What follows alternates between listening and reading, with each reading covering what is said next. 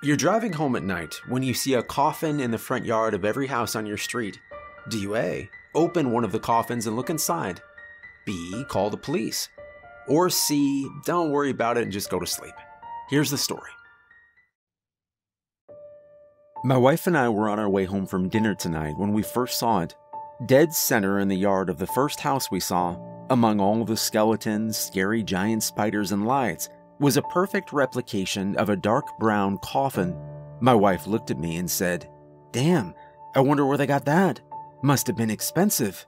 She looked a little jealous. Typically, we are the house on the street that goes all out with the Halloween decorations. But after a couple bad years of work, we just haven't been able to refresh our collection.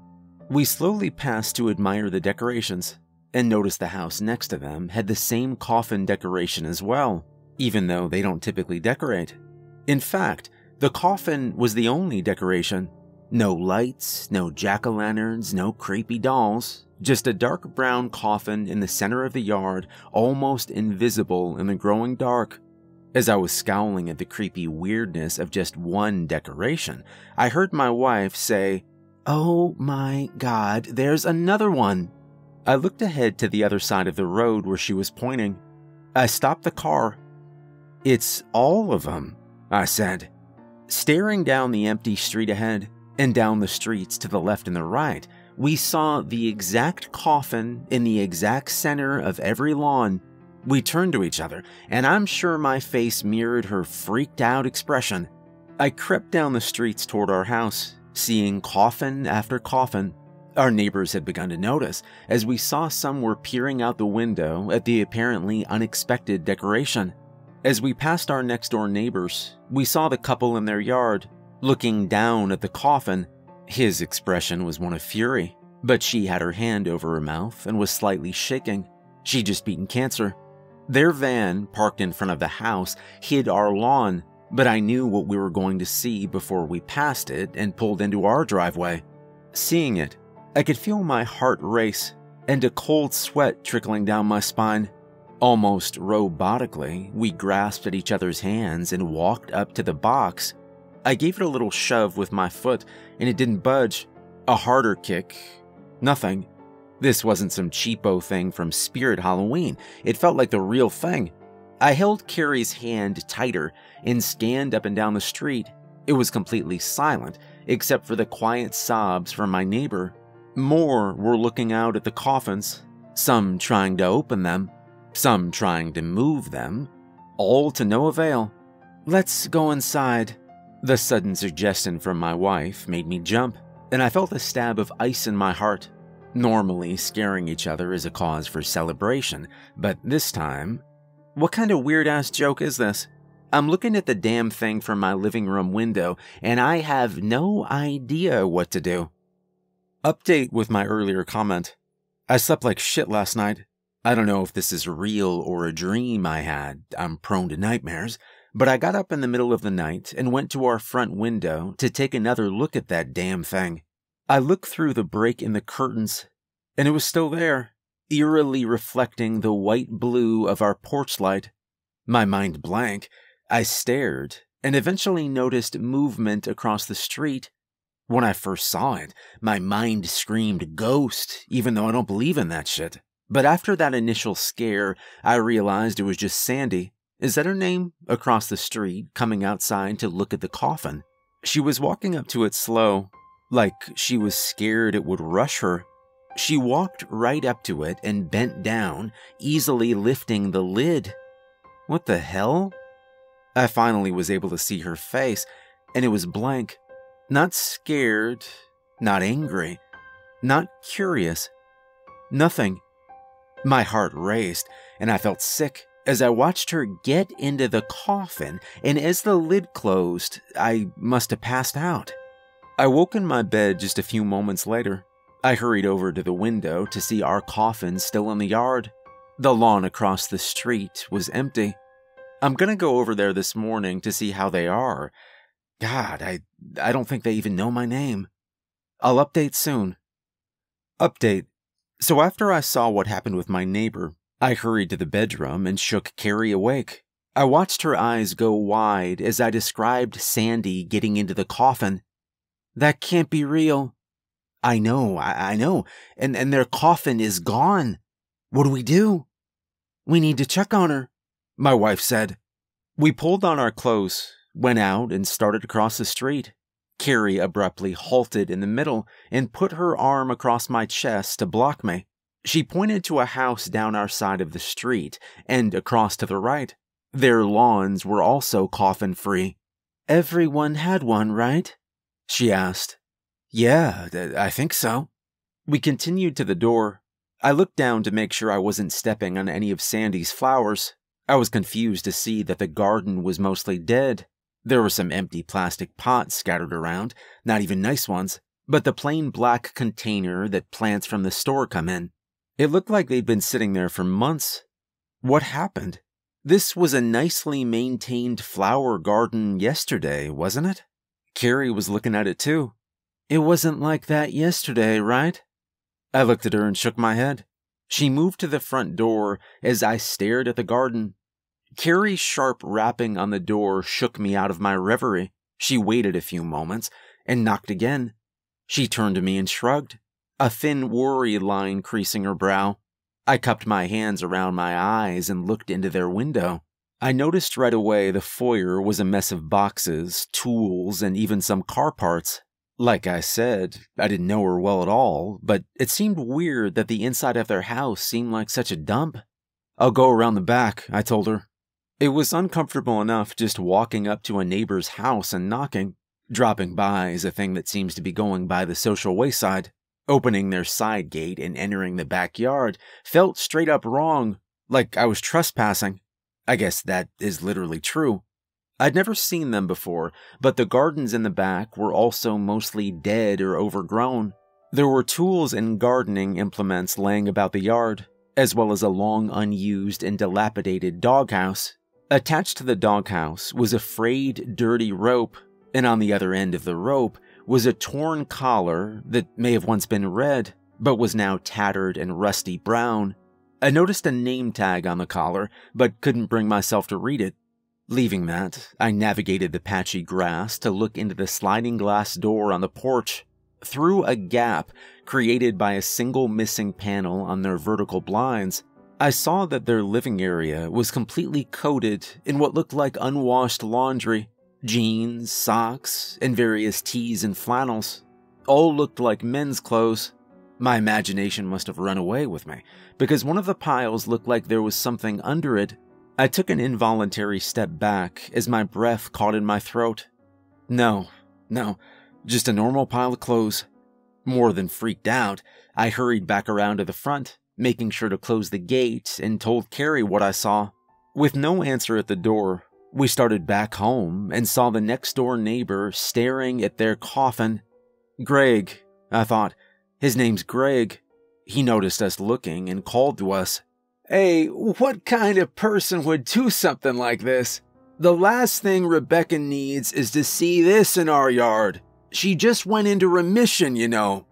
Yeah, I'm sorry, man, I replied. We're shaken too.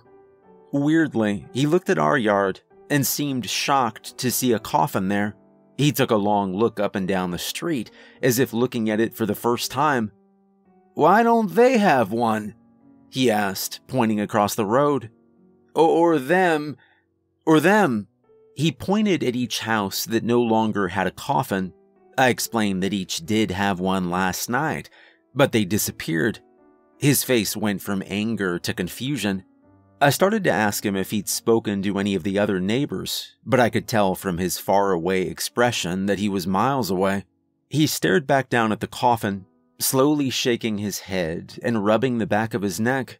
Carrie pulled on my hand and led past the coffin and to our front door. Back at home, Carrie and I talked about what to do. She wanted to call the police and do a wellness check, so I picked up my phone. They must have been getting a lot of calls because it went straight to voicemail. I left the reason for the call in my contact details. Carrie noticed my scowl as I hung up and sighed.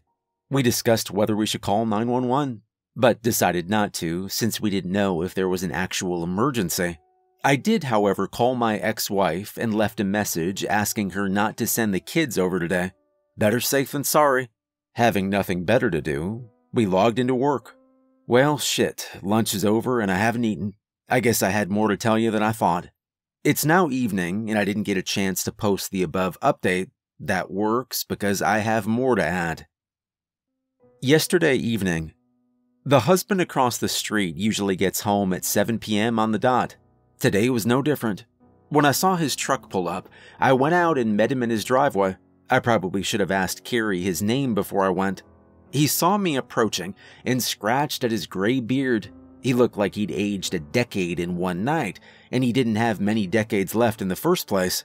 Hey, man, I was talking to Greg over there a little earlier. What do you think of all this? I waved my hand up and down the street. It is some freaky shit, man. You know, at first I thought it was a new thing everyone wanted for Halloween, like those damn giant skeletons last year. Waste of money if you ask me. But a couple folk down the road said they didn't buy 'em, just there like they always had been. Not sure why I'm one of the ones that didn't get one. But you had one last night, I said, confused. At this point, I noticed Carrie was watching from the front door. No, no, didn't have one last night. He shot me a bit of side eye. Oh, I said, my mistake. I paused for a moment, does Sandy have any thoughts? He was getting impatient. Is that the lady two doors down? How the hell should I know what she thinks? I took a longer pause than he had patience for. No, Dan. Dave. He grimaced at me. No, Dave. Your wife, Sandy. His eyes narrowed, and he looked me up and down. What is wrong with you, guy whose name I don't even know? You moved here years ago. You don't talk to no one. Then don't even notice I'm not married? Tell me something, jackass. You ever seen a woman around my house? No, no, of course not. I apologize, Dave. I must have confused you with somebody else. I'm, I'm sorry. I'll just go inside and let you be. Yeah, you have a good one too, idiot. He said under his breath. I must have looked completely abashed when I went back inside because despite everything, Carrie raised her eyebrows at me with a small smirk. So it went well? She teased. She always knew how to make me smile. I told her everything he said, making sure to remember every detail of him apparently not ever having a wife. What the hell? Did you tell him what you saw last night? No, which is probably how I made it back here with an unbroken jaw. If you want to go over there and tell him how his wife, that he never had, got into a coffin that was never on his lawn and disappeared, then go for it. You know, in fact, you should. I'm sure he'd be delighted to speak with you. We both started laughing.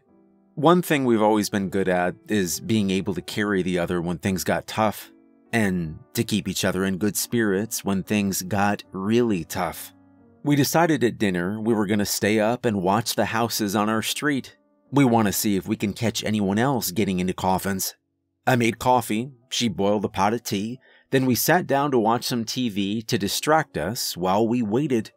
She leaned her head against my chest, and I put my arm around her. This morning, this has gone beyond weird and frightening to downright terrifying. We're getting the hell out of here. Susan is gone, along with most of our neighbors, and we've seen the things that are taking the coffins. Carrie is packing for us while I write this update. We waited up last night as planned. We got out a couple of chairs and even brought our little iron fire pit from the backyard to keep us warm. We decided to walk around the block as it drew towards midnight, and we noticed that there were other watchers. Some sat inside by their windows with their lights off, some on their front porches, some in the driveway like us. We even saw one old fake wood paneled station wagon driving a slow circuit around the block. It looked like about one out of every five houses no longer had a coffin. That only took about 15 minutes, so we sat by the fire, drank our caffeine, and waited. Have any of you done any camping? Have you noticed how you can get to staring into the campfire and just lose time? My dad used to call that dreaming the fire. I was so deep into the dreaming that I almost didn't notice the sound of Susan and Greg's door unlatching. Carrie gave my shoulder a hard shake. She pointed, and I saw Susan walking slowly and stiffly towards their coffin. For a moment, all I could do was stare, too frightened to get up. Susan, Carrie said, jolting me out of the chair. She was already halfway into their yard before I was able to catch up. We got about five feet away from the coffin, and all energy was zapped out of my body. I felt too weak to do anything more than stand. I heard a small whimper come from Carrie's throat, or it might have been mine. I've passed out before, and this felt like the first few moments after regaining consciousness.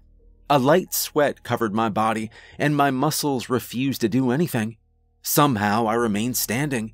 I couldn't look away from Susan's slow march to the coffin. I heard Carrie try to yell for Greg, but it came out as a weak moan like when someone's calling out in their sleep during a nightmare. I willed my eyes to roll towards the house, and in the bay window, I saw the pale form of Greg standing and watching his wife.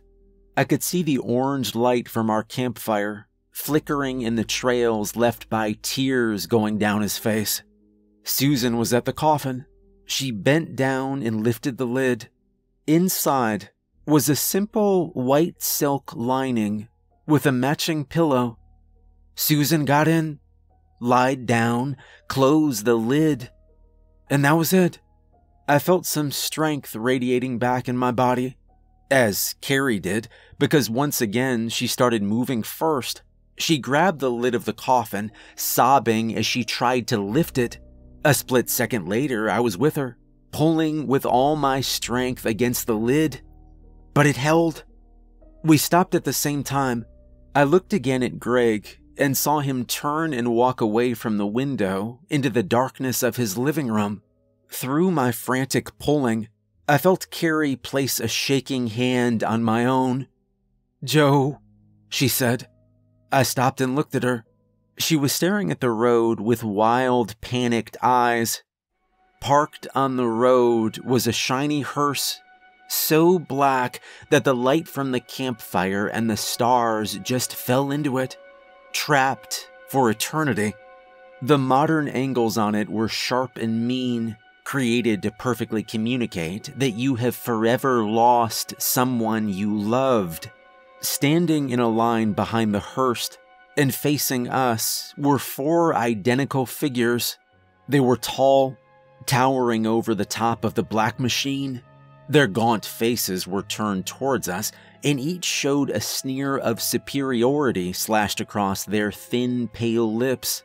Held under their left arms, each held a black silk top hat, and in their right, an ebony cane topped with a simple silver globe, the only hint of color on their persons.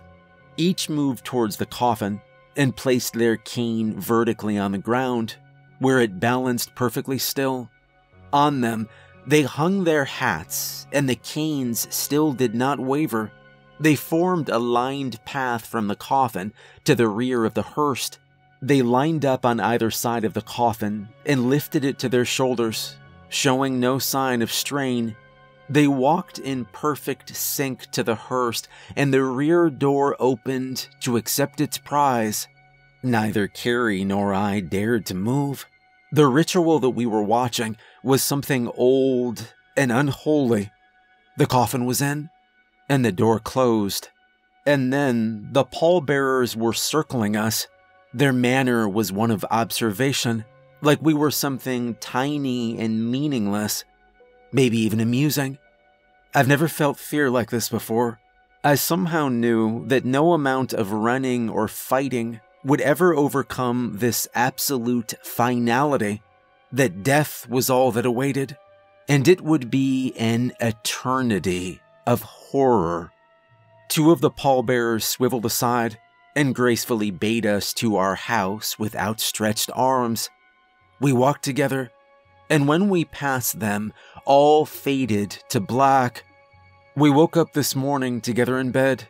Carrie and I looked at each other and there was nothing to say. We talked about leaving, but somehow we know that we can't, but we're still gonna try. We've tried to call the police. I tried to call my ex wife. Carrie tried to call her parents. All went right to voicemail, and we realized that we've gotten no calls, no voicemails, no text messages, nothing since this thing started. I'll update soon.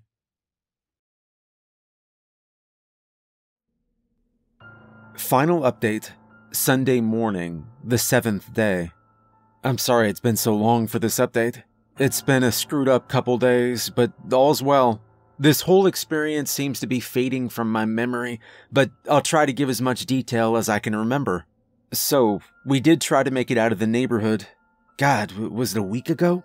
We packed some clothes, my mountain of anxiety meds, and some bathroom supplies, and we got the hell out of Dodge. Driving through the neighborhood, we saw a few of our neighbors wandering around, confused, crying, seemingly lost and alone. None even looked at us as we sped past. We also noticed even more yards empty of the coffins. Looked like maybe about half had someone taken. Carrie was stunned by how many had gone. I saw her mouth moving as she looked out the windows and finally figured out that she was whispering, That's not gonna be me. That's not gonna be me. Over and over. I put a hand on her knee to calm her down. Hey, we're leaving. We're gonna be fine. I said. She said nothing. We made it to the exit of the neighborhood, and I stopped. I was almost expecting to see a glowing force field holding us in, but all I saw was the road out and the entrance sign Welcome to Harmony Hills. No solicitors. I slowly pulled out, and once I was sure that the car wasn't going to immediately and mysteriously break down or explode, or that we were going to get sucked into a portal to hell, I hit the gas. Carrie watched the neighborhood disappear behind us and let out an audible sigh of relief. We continued driving down the empty road, feeling the freedom of the passing pines and sand to the left and right of us. Despite the chill in the air, we opened the windows just to feel the wind like a celebration of our escape. We looked at each other and even smiled a little. What do you think's going to happen to the rest of them? Carrie asked. Well, hopefully they'll do what we did and get the hell out. Yeah, she said. The line of concern showed again. We drove for some time without seeing another car. Not unusual, considering our remote location, but I was eager to see some normal people doing normal things their faces unmarred by grief, panic, or despair. Finally, we pulled into the first sign of civilization a small strip mall. Today, the parking lots were empty, and the lights in all of the stores were dark. I felt a stab of panic and looked at Carrie. She was in full deer in headlights mode. I opened the car door, and the snap of the latch made her jump, a small shriek escaping her. I stepped out of the car Sensing something was off above and beyond the lack of people, I walked up to the Cranberry Market storefront and peered in. Not only were there no customers or clerks, there was nothing. No shelves, no counter. The coffee machines were gone, as well as everything in the refrigerators.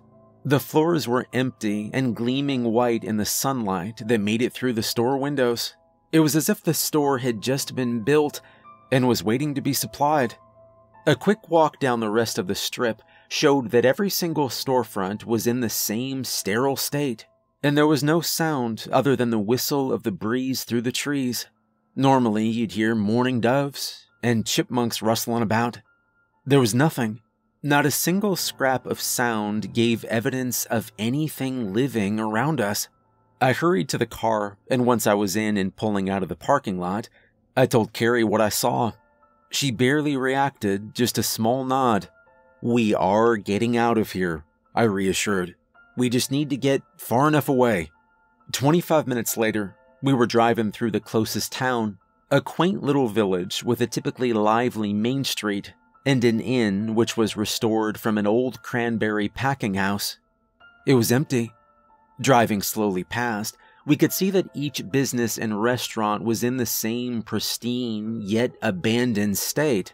Still, we were met with no cars on the road or people walking the sidewalks. The world had emptied, and we were the last drops of life remaining. As soon as we realized there was no one, I sped the car up and went for distance. We headed up the coast through New York on highways empty of cars. I thought the sight of the city, silent and empty, was the eeriest part of the trip. Carrie was more freaked out by driving through the empty and dark Lincoln Tunnel. I can see her point. There were a few times where I thought I saw movement just outside the range of our headlights. It still gives me the shivers, even sitting at home on my couch now. The sun started to go down as we approached Hartford, so we decided to stop and look for food and someplace to sleep. The houses around us were just as empty as every other building, so we found nothing to eat, nor could we find a bed. In the last house we entered, we just put down a pillow made of our own packed clothing and cuddled close for warmth. The lack of any sort of noise created a constant rush of white noise in our ears as our brains tried to create any kind of stimulation at all. Despite the phantom noise, we eventually found sleep. In my dream, I was looking out our living room window. I could see Carrie moving slowly towards the coffin Surrounding her were the pallbearers with their tall black satin hats and expressions of complete and utter glee on their faces. Their eyes widened in delight over sharp toothed smiles, and Carrie opened the lid and started to get in. I couldn't move. Tears were streaming down my face, and I knew in a few moments I wouldn't even remember her.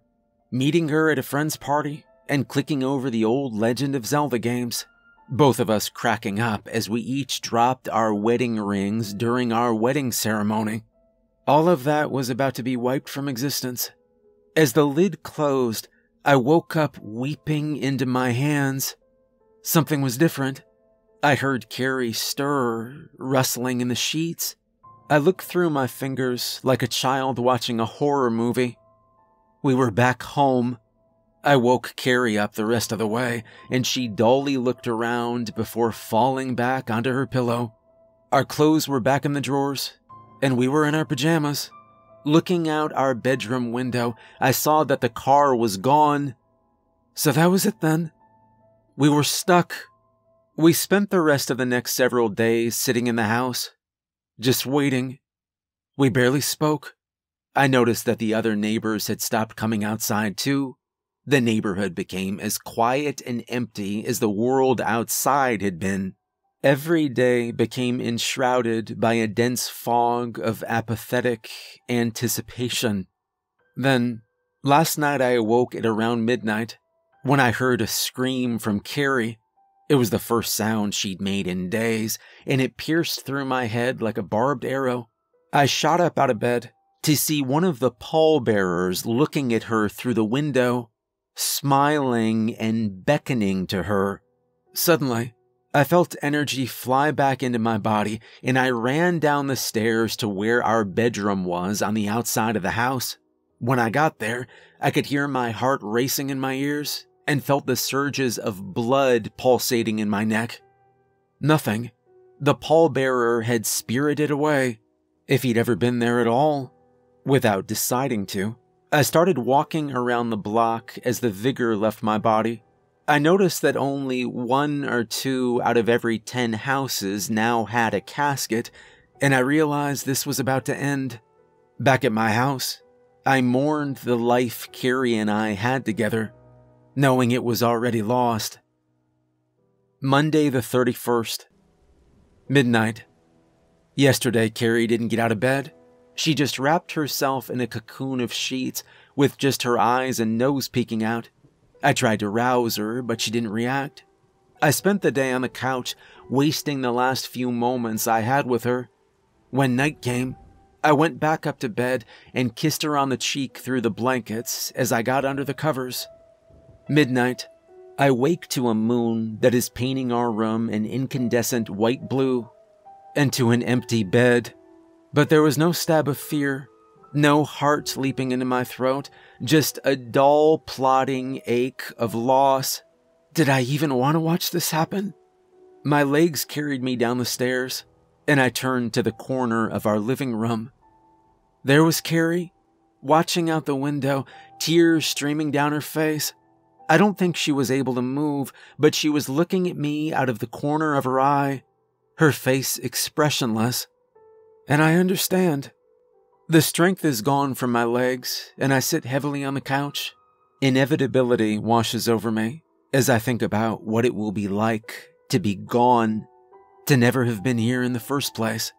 I mourn the loss of my life. I mourn my children who I hadn't seen in what felt like an eternity and were about to have never been born. I mourn the happy moments filled with love and laughter that were about to never have happened. I mourn myself. I can hear slow tires crunching on the road outside.